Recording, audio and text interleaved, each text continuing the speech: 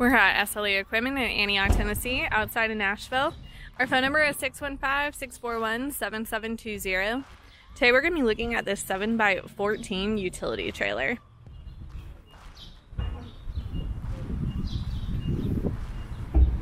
Does have the spare tire holder.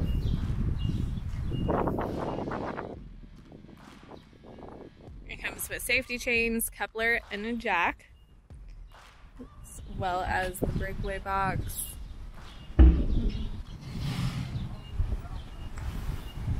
This is made with pressure treated wood flooring. It does have the D-rings built in. This is a single axle. It's to be a 3,500 pound greasable axle. Has the dovetail